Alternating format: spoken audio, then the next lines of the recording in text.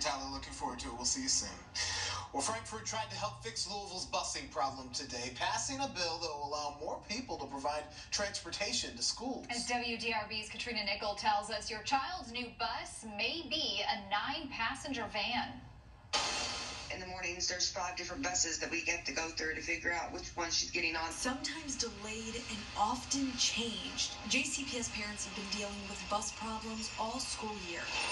It's an issue felt in other districts across the Commonwealth, which is why lawmakers worked on a bill that will allow employees to transport students in district owned vans. All they need is a valid driver's license. This opens a, a, a door for um, more employees participating and more vehicles to get the students around in a short period of time. It's passed Those in favor vote aye, those opposed nay. with bipartisan support in the House and Senate. I'm grateful to be able to just add this tool to the to the tool belt uh, of the districts. and now sits on Governor Andy Beshear's desk. Lawmakers' proposed budget also increases state funding for school transportation the next two fiscal years. The state would fund 90% of costs in year one and then fully fund transportation in year two. I think this will be um, pivotal in, in improving transportation operations. In the past, JCPS has criticized lawmakers for not funding transportation fully. State law requires it to be fully funded, but lawmakers have taken advantage of a loophole to not. The state's largest school district says the proposed budget will give JCPS an extra $22 million a year over the next two fiscal years for transportation. Parents hope the latest move means JCPS won't cut back on who gets a seat on the bus. If they do that, it's just going to